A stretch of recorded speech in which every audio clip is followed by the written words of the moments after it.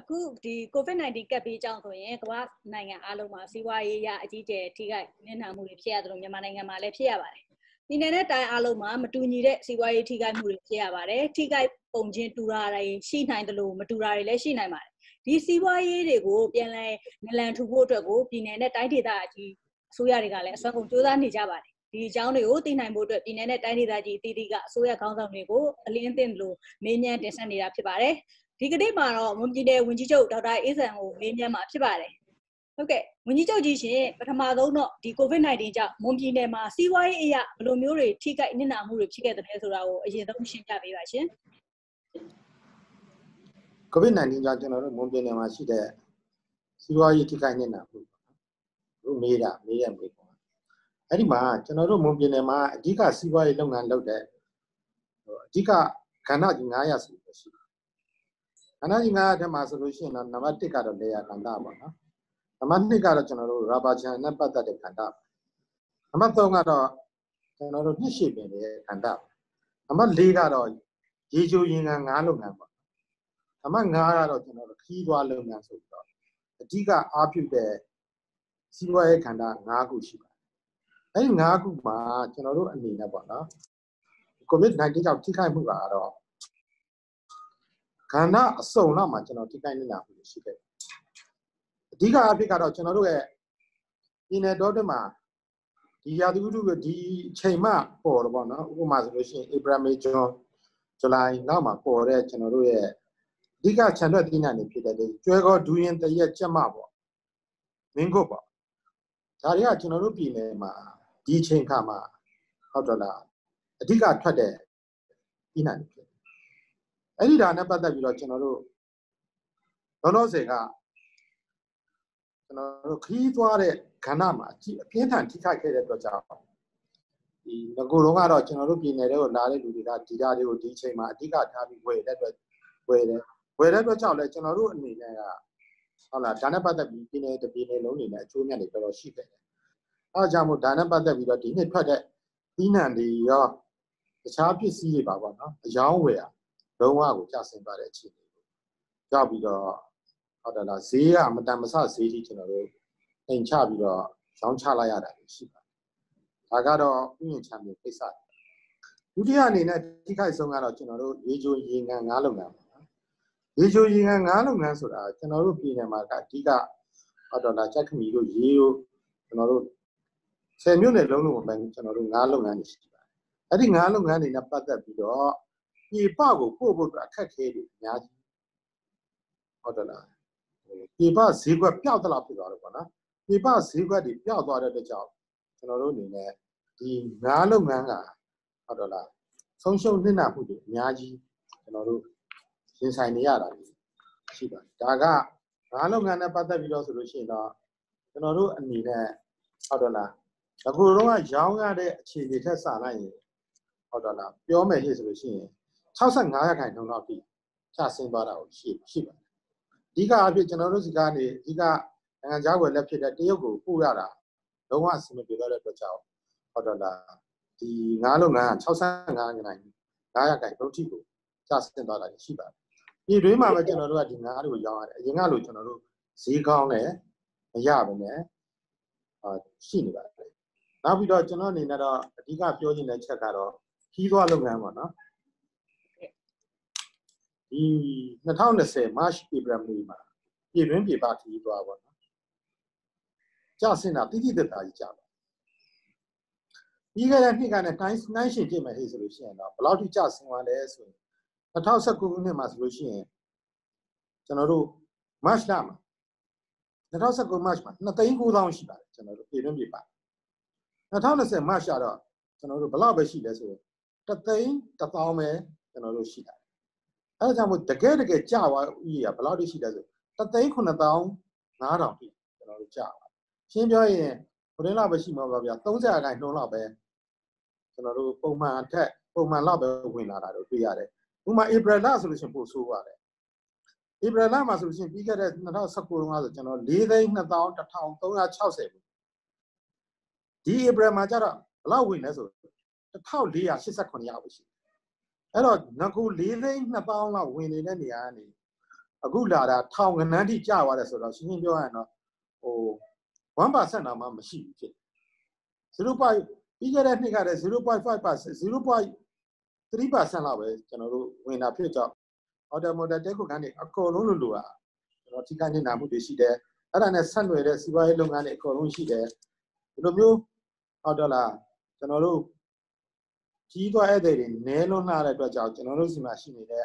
ဟုတ်တော့လားစားတော့ဆိုင်တွေကစအကုန်လုံးပေါ့နော်ဒါကတော့ပတ်ပါဝင်တဲ့ဟာတွေအကုန်လုံးကထိခိုက်နေတာမှုတွေရှိခဲ့တယ်အဓိကထိခိုက်နေတာမှုအကြီးမားဆုံးကတော့ကျွန်တော်တို့ဟုတ်တော့ကြိုက်ထုကကျွန်တော်တို့ကြိုက်ကြည့်လို့ဆန်လို့ရှင်စေဒီတော်ကိုကျွန်တော်တို့ကကြိုပြီးတော့ပိတ်လိုက်ရတဲ့အခြေအနေတွေရှိတယ်နောက်ပြီးတော့အဲ့ဒီကျမအဲ့ဒီဒီလိုပဲကျွန်တော်တို့ပေါင်မြုပ်နဲ့ဇင်းကြိုင်မှာရှိနေတဲ့ ဇင်းကြိုင်စီဒီတော့ဗုဒ္ဓပူဇနီယပွဲကိုလည်းကျွန်တော်တို့ပိတ်လိုက်ရတယ်မဆောင်ရွက်နိုင်ခဲ့ဘူးဒါဒါကြောင့်လည်းကျွန်တော်တို့လူတော်တော်များများကဟုတ်လားရှင်းရှင်းပြောရရင်တော့ဖျားဗန္ဒငွေပါကြာဟောတယ်ဖျားဗန္ဒငွေပါဝင်ကျွန်တော်တို့အနေနဲ့ရလာရောက်ရောင်းချတဲ့ဈေးဆိုင်တွေပါတွေလည်းကျွန်တော်တို့ရောင်းချခြင်းမရှိတော့ဘူးအဲ့ဒီလိုပဲကျွန်တော်တို့ကြိုက်ခင်လမ်းမရှိတဲ့ကြိုက်ခင်ဖျားအဲ့ဒါအဲ့ဒါတွေပါအကုန်လုံးပေါ့နော်ကျွန်တော်ထိခိုက်နေတာခုကအများကြီးကျွန်တော်တို့ထိခိုက်နေတာခုရှိပါတယ်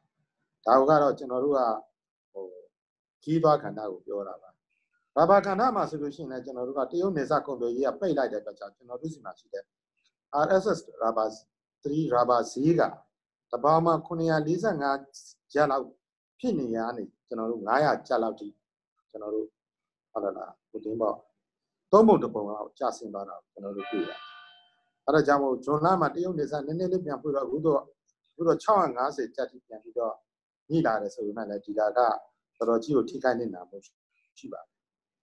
အဲဒါကတော့အသေးစိတ်စီးရင်တွေကတော့ကျွန်တော်တို့ဒီမှာရှိပါတယ်ပြောရရင်တော့ဟုတ်တယ်လားငါးတွေကိုတင်ပို့မှုကတော့ကျွန်တော်တို့များပြားစွာကျွန်တော်တို့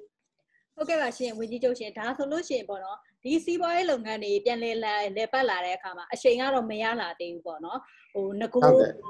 သွားနေတဲ့လမ်းကြောင်းနဲ့မတူညီတဲ့ပုံစံတွေလည်းဖြစ်လာမယ်နောက်တစ်ခုကကျတော့ဒီဘက်က အဆင်ပြေပြီဆိုမဲ့ဥမာဒီတရုတ်ကိုတင်ပို့နေတဲ့ကုန်တွေဆိုရင်အခုတရုတ်မှာဝူဟန်ပြန်ဖြစ်နေတဲ့အတွက်သူတို့စီမှာကတ်သက်ချက်တွေပြန်ရောက်လာတယ်ပေါ့တန်တဲ့လာဒီပြည်နယ်ရဲမှာရှိတဲ့ဒီစီးပွားရေးလုပ်ငန်းတွေပြန်လည်ပတ်နိုင်အောင်ဖို့ဆိုရင်အစိုးရဘက်ပိုင်းကရောဘယ်လိုမျိုးပံ့ပိုးကူညီပေးမယ်ဆိုတော့မူဝါဒတွေချမှတ်ထားတာမျိုးများရှိပါသလားရှင်အဲအဲ့ဒါတွေကတော့ကျွန်တော်တို့ဒီမှာရှိပါတယ်ကျွန်တော်တို့အဓိကအဖြစ်ကတော့ကျွန်တော်တို့စိုက်ပျိုးရေးကဏ္ဍပါနော် အဲစိုက်ပျိုးရေးကဏ္ဍမှာဆိုလို့ရှိရင်ထိခိုက်နေတာမှုတွေမျိုးကြအောင်ကျွန်တော်တို့ဟောစိုက်ပုံစိုက်နီးစနစ်တွေကစအကုန်လုံးကျွန်တော်တို့ဆောင်ဆောင်ရွက်နေတာရှိပါတယ်အဲ့လိုလိုပဲဟုတ်တော့လားစိုက်ပုံစိုက်နီးကစနော်နောက်ပြီးတော့ပုံမူပြီးတော့ကောင်းမွန်တဲ့မျိုးစေ့တွေကိုပြန်လုပ်ဖို့အတွက်ထုတ်ဖို့အတွက်ကျွန်တော်တို့စီစဉ်နေတာကျွန်တော်တို့ရှိပါတယ်ဥယျာဉ်ကဏ္ဍအနေနဲ့ချစ်ဥယျာဉ်ကဏ္ဍအနေနဲ့ပြောရမယ်ဆိုလို့ရှိရင်ဟုတ်တော့လားဟို ဒါကတော့ဒီနှစ်မှာတော့ကျွန်တော်တို့နှစ်နာတော့နောက်နှစ်ဆိုလို့ရှိရင်တော့အသွားလာပြန်ပြီးကောင်းလာမယ်ကောင်းလာမယ်ဆိုတော့ပြန်ပြီးစင်ပြေလာဖို့ရှိပါတယ်အဓိကအဖြစ်ကတော့ကျွန်တော်တို့ဒီမှာဟုတ်တော့လားစိုက်ပျိုးရေးကဏ္ဍကိုပြောမယ်ဆိုလို့ရှိရင်ဆန်စပါးရာဘာနှစ်ရှည်နှစ်တို့ပြီးနှံ့တယ်ဒါပထမဦးဆုံးဆန်ထုတ်လုပ်မှုကပြည်နယ်တွင်းမှာငကိုတော့ကကျွန်တော်တို့ပြည်နယ်ကဆန်တန်ချိန်ဟုတ်သလားပိုလျံနဲ့ဆန်တန်ချိန်3သိန်း5000 3000ခါရှိပါတယ် ဟုတ်လားဒီဈေးနှုန်းကလည်းတိတိတိတသားရှိပေါ်ခဲ့ခြင်းမျိုးဟိုဟိုကွာခြားခြင်းမရှိခဲ့ပါဘူးဘာဘာခန္ဓာမှာဆိုတော့ဒါထုံးစံတိုင်းဝယ်လိုအားအကြီးကျယ်ကြတဲ့အတွက်ကြောင့်ကျွန်တော်တို့ဒါနဲ့ပတ်သက်ပြီးတော့လည်းကျွန်တော်တို့ဝိပရိခန္ဓာကလူတွေရောအကုန်လုံးကိုပေါင်းပြီးတော့ကျွန်တော် MSME ကနေစပြီးတော့ပတ်စံချီးဖို့ကိစ္စကိုလည်းကျွန်တော်တို့စီစဉ်နေတာတွေလည်းကျွန်တော်တို့ရှိပါတယ်အဲ့ဒါနဲ့ပတ်သက်ပြီးအသေးစိတ်ပြောပြရမယ်ဆိုရှင်ကတော့ကျွန်တော်တို့ COVID-19 ကြောင့် ထိခိုက်နေတာတဲ့ကိစ္စတွေနဲ့ပတ်သက်ပြီးကုစားနိုင်ရေးအတွက်ကျွန်တော်တို့ကျွန်တော်တို့လုပ်ငန်းကော်မတီစီဝေးမှဆက်နှစ်2020ဆုံးဖြတ်ချက်အရစီးပွားရေးထိခိုက်မှုအများဆုံးကဏ္ဍဖြစ်တဲ့ဟိုတယ်ခီးသွားလုပ်ငန်းနဲ့ MSME လုပ်ငန်းတို့ဦးစားပေးကဏ္ဍဖြစ် COVID-19 ဖန်ကနေရှိဖို့အတွက် COVID-19 stimulus package အတိုးနှုန်းတက်တာဒီချင်းငွေမှာစနစ်တကျထုတ်ပေးရန်ရည်ရွယ်ပြီးတော့အတိုးနှုန်း1ရာခိုင်နှုန်းချင်းငွေကာလတစ်နှစ်သတ်မှတ်ပြီးချင်းငွေထုတ်ပေးရန်လုပ်ငန်းများမှ လျှောက်လာတဲ့လျှောက်လာတဲ့အဆိုပြုလျှောက်လာတွေကမွန်ပြည်နယ်အနေနဲ့မွန် CCI ရင်းနှီးမြှုပ်နှံမှုနဲ့ကုန်များညွှန်ကြားမှုဦးစီးဌာနစက်မှုစစ်ဆေးရေးနဲ့ဒါစက်မှုကြီးကြပ်ရေးနဲ့စစ်ဆေးဌာနပူးပေါင်းအဖွဲ့တို့ကနေကျွန်တော်တို့33 2020ကနေ94 2020ဒီစီစစ်ပေးခဲ့ပြီးသမတ်ချက်နဲ့ကန့်ညီပြီးလုပ်ငန်း62ခုတင်ပြလျှောက်ထားတဲ့အတွက်ကြောင့်ကျွန်တော်တို့လုပ်ငန်း34ခုကိုချင်းငွေစုစုပေါင်းတန်1280ထုတ်ပြီးဖို့အတွက်အတည်ပြုချက်ပေးပို့ထားပြီးဖြစ်ပါတယ်။ ကြံပြီးတော့လျှောက်တဲ့လုပ်ငန်းတွေအတွက်လည်းကျွန်တော်တို့ဆက်လက်ပြီးချင်းငွေထုတ်ပြီးဖို့စစ်ဆောင်ရွက်ရရှိပါတယ်။နောက်ပြီးဂျကာ2 step လုံးချင်းငွေတို့လည်းလုပ်ငန်းရှင်များနဲ့လုပ်ငန်းတစ်ခုနဲ့အများဆုံးဟုတ်လားကျပ်တန်း300ထိရရှိမှာဖြစ်ပြီးလုပ်ငန်းလိုအပ်ချက်ရ working capital ကိုတရားရာခိုင်နှုန်းတွေသုံးမိနိုင်မယ်ဖြစ်ပြီးတော့အတိုးနှုန်းအနေနဲ့တစ်နှစ်လ9.5ဒသမ9ရာခိုင်နှုန်းမှ30 30ရာခိုင်နှုန်းအတွင်းဖြစ်ပြီးအာမခံပစ္စည်းရှိပါက9.5ခိုင်နှုန်းဖြစ်ပါကြောင်းနဲ့ အာမခံမပါ CGI ချင်းငွေနဲ့လည်းကျွန်တော်တို့လျှောက်ထားလို့ရပါတယ်ချင်းငွေတက်တန်းကတော့3နှစ်ကနေ9နှစ်ထိဖြစ်ပြီး3နှစ်အောက်ချင်းငွေများအတွက်ဆိုင်းငံ့ကာလ6လနဲ့3နှစ်မှ9နှစ်ထိဆိုင်းငံ့ကာလတစ်နှစ်ရရှိမှာဖြစ်ပါတယ်ဒါနဲ့ပတ်သက်ပြီးတော့လည်းဓမ္မစီဝါရေးဘဏ်နဲ့ပုဂ္ဂလိကဘဏ်10ခုကိုလည်းကျွန်တော်တို့ကြီးကြပ်ပြီးတော့ဟိုဆက်သွယ်ပြီးတော့စုံစမ်းချေယူနိုင်တဲ့အခြေအနေကိုကျွန်တော်တို့အန်ဒီလှုပ်ဆောင်ထားတာရှိပါတယ်ဟုတ်ကဲ့ပါရှင်အခုဒီမွန်ပြည်နယ်ရဲ့ဒီ ထိကြိုက်သွားတဲ့စီးပွားရေးအခြေအနေတွေအကြောင်းအသေးစိတ်ပြောပြတာရယ်နောက်ပြီးတော့ဒီပြည်내ထူထောင်ရေးအတွက်ကိုဘယ်လိုတွေစီမံထားလဲဆိုတော့ကိစ္စရက်တွေကိုအသေးစိတ်ရှင်းပြပေးတဲ့အတွက်ဝင်ကြီးချုပ်ကိုကျေးဇူးတင်ပါတယ်အခုနောက်ထပ်မေးချင်တဲ့အကြောင်းအရာတွေကတော့မကြခင်မှာကွန်ပျူတာရွေးပေါက်ရွေးကောက်ပွဲကာလကိုရောက်တော့မယ်ပေါ့နော်ဆိုတဲ့အခါကျတော့ဝန်ကြီးချုပ်ကြီးရောလာမယ့်ရွေးကောက်ပွဲကာလမှာပြန်ပြီးတော့မှဝင်ရောက်ရှင်ပြိုင်ဖို့စိတ်ကူးထားပါလားရှင်။ဟွန်းကျွန်တော်ကတော့ကျွန်တော်ကကိုနေရာမှာပြန်ပြီးတော့ ဝင်ပြန်ဖို့အတွက်စီစဉ်ရှိပါတယ်။ဟုတ်ကဲ့ဆိုတော့ဒီချောင်းစုံမဲဆန္ဒနယ်မြေပေါ့နော်။ဆိုတော့ကျမဒီပြန်ပြီးတော့မှပြန်ကြည့်တဲ့အခါကျတော့ဝင်းရှိုးရဲ့ဒီချောင်းစုံနယ်မြေထဲမှာဆိုရင်ဒီယင်းနှမြုံနှံမှုတွေဝင်ရောက်ထားတာလည်းမရှိသေးဘူးပေါ့နော်ဆိုတဲ့အခါကျတော့ဒီချောင်းစုံဒေသကိုတိုးတက်အောင်ဘယ်လိုလုပ်မယ်လို့ဝန်ကြီးချုပ်စိတ်ကူးထားတာရှိလဲ ချောင်းစုံဒေသနဲ့ပြောရင်ချောင်းစုံဒေသရဲ့အဓိကစီးပွားရေးကဆန်စပါးစိုက်ပျိုးဆန်စပါးစိုက်ပျိုးဆိုတော့ကျွန်တော်တို့ဒီပေါ့နော်ကျွန်တော်တို့အစိုးရလက်ထက်မှာကျွန်တော်တို့ချောင်းစုံဒေသကိုကျွန်တော်တို့ကသတ်မှတ်ထားတာကကျွန်တော်တို့ဆန်ရည်စပါးတွေဆန်စပါးတွေထွက်ဖို့လေလုပ်ငန်းနဲ့ပတ်သက်ပြီးကျွန်တော်တို့ဖိပြီးတော့အားစိုက်ပြီးတော့ကျွန်တော်ဆောင်ရွက်ပေးခဲ့တာအများကြီးရှိပါတယ်အဓိကချက်အချက်ကတော့ကျွန်တော်တို့ဟုတ်တော့လားလေခွင်းတွေအကုန်လုံးရှင်နေမြုပ်မှုကာကွယ်ရေးရေကြီးနေမြုပ်မှုကာကွယ်ရေးနဲ့ ရေလုံလုံလောက်လောက်ရရှိဖို့အတွက်ချောင်းမြောင်းပင်တဲ့ရေငန်တားတမန်အဲ့ဒါတွေကိုအဓိကထားပြီးတော့ချောင်းစုံမှာကျွန်တော်တို့ဟုတ်တယ်လား PPCC ကိုကျွန်တော်တို့ဆောင်ရွက်ခဲ့ပါတယ်ချောင်းစုံမှာတော့အဓိကတော့စီးပွားရေးအဓိကကြတယ်ပေါ့နော်အဲလေလေလုပ်ငန်းစီးပွားရေးစပါစိုက်တဲ့စီးပွားရေးအဓိကကြတယ်အဲ့ဒါနဲ့ပတ်သက်ပြီးတော့ချောင်းမြောင်းတွေကိုတော်တော်ကြီးကိုနှစ်တောင်ကဆိုတော့နှစ်တိုင်းနှစ်တိုင်းတူပေးတာရှိပါတယ်။ဆိုတော့ဘတ်ဂျက်နဲ့တူတာလည်းရှိတယ်။ ကျွန်တော်တို့ပြည်သူလူထုနဲ့ပူးပေါင်းပြီးတော့တူတာတွေလည်းရှိတယ်။ဟုတ်ကဲ့ပါရှင်။ဆိုတော့လာမယ့်ရွေးကောက်ပွဲမှာပေါ့နော်ဝီကျုပ်ဒီ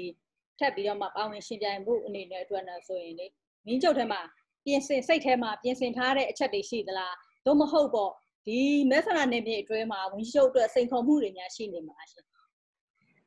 ကျွန်တော်တို့ဆိုရဖွဲ့အနေနဲ့ပြောရမယ်ဆိုလို့ရှိရင်တော့ကျွန်တော်တို့ဒီ9နှစ်တာ၄နှစ်ခွဲလောက်ပါတော့အခုရှိပါပြီ။ ၄နှစ်ခွဲလောက်ရှိတဲ့ကာလတော်တွေမှာကျွန်တော်တို့ဆောင်ရွက်ခဲ့တဲ့အချက်လက်တွေဟာပြောမယ်ဆိုလို့ရှိရင်မဲဆန္ဒရှင်တွေအနေနဲ့ယုံကြည်မှုကျွန်တော်တို့ဆိုရပေါ်မှာယုံကြည်မှုအပြည့်အဝရှိတယ်လို့ကျွန်တော်တို့ဟောတော့တာဒါကျွန်တော်တို့လက်ခံပါတယ်။ဒါကြောင့်မို့လဲကျွန်တော်တို့ဒီရွေးကောက်ပွဲမှာလဲကျွန်တော်တို့အနေနဲ့ဟောတော့တာဟိုပြောမယ်ဆိုလို့ရှိရင်ကတော့စူးစမ်းတော့စူးစမ်းပါမယ်ပြည်သူလူထုအနေနဲ့လည်းကျွန်တော်တို့အစိုးရအဖွဲ့ကိုဆက်ပြီးတော့ထောက်ခံနိုင်မယ်လို့တော့ကျွန်တော်တို့ယူဆပါတယ် ဟုတ်ကဲ့ပါရှင်မင်းချုပ်ကြီးနောက်ထပ်ဒီရှင်ပြိုင်မဲ့နေရာကရောဒီပြည်နယ်လွှတ်တော်မှာပဲဒီပြိုင်မလားသို့မဟုတ်ပြည်သူတို့အမျိုးသားတို့အဲ့ဘက်ကိုပြောင်းပြီးပြိုင်ဖို့ရောရှိမလားရှင်အဒီအချမှတ်တဲ့အတိုင်းပဲကျွန်တော်ဆောင်ရွက်ရအောင်ဟုတ်ကဲ့ပါရှင်အခုဒီ TV ကိုကြည့်ရှုနေကြတဲ့ပေါ့ဒီမဲဆန္ဒရှင်ပြည်သူတွေအတွက်ကောဝင်ချုပ်ကြီးရပါများပြောပြချင်တာရှိလဲရှင် အခုချိန်မှာတော့ကျွန်တော်တို့ကဘယ်လိုဖြစ်လာလဲဆိုလို့ရှိရင်တော့ဟိုကိုဗစ်ကာလစီးပွားရေးအဖြစ်ကျွန်တော်ထိခိုက်နေတာမျိုးရှိပါတယ်ဒါပေမဲ့အဲ့ဒီဒါဂျိုးပဲကျွန်တော်တို့ကကြည့်ပြီးကြည့်ကြည့်ပြီးနောက်တစ်ဖက်ကနေပြန်ကြည့်လိုက်တယ်ဆိုလို့ရှိရင်ဒီယောဂကာကွယ်ဖို့အတွက်စီးလုံးညွှန်မှုအားကဒီငါတဲ့စာလိုက်ပို့ပြီးတော့ကိုကြီးရွာတွေရောရက်ွက်တွေမှာရောဒီလူလူကြားထဲမှာတော့အမှန်တန်ကိုကောင်းမွန်တဲ့အခြေအနေကိုရှိတဲ့အတွက်ကြောင့်ဟုတ်တယ်လားအခုလိုမျိုးဟုတ်တယ်လားစီးပွားရေး ဟုတ်တယ်လားစီးပွားရေးကဏ္ဍပြန်လည်တိုးတက်နိုင်ဖို့အတွက်ဆိုတာအခုလိုစီလုံးညီညွတ်ညွတ်နဲ့ကိုဗစ်ကိုကာကွယ်သလိုစီလုံးညီညီညွတ်ညွတ်နဲ့ကျွန်တော်တို့ဆောင်ရွက်နိုင်တယ်ဆိုလို့ရှိရင်ဒီနေ့ရဲ့စီးပွားရေးကအရင်ကတည်းကပို့ပြီးတော့ကောင်းမွန်လာမယ့်အခြေအနေရှိတယ်ဆိုတဲ့ကြောင့်ပြောကြားလိုပါတယ်ဟုတ်ကဲ့ပါရှင်အခုလိုမျိုးပြည့်ပြည့်စုံစုံရှင်းပြပေးတဲ့အတွက်ဝန်ကြီးချုပ်ကြီးကိုကျေးဇူးတင်ပါတယ်ရှင်။ကျေးဇူးတင်ပါတယ်ကျွန်တော်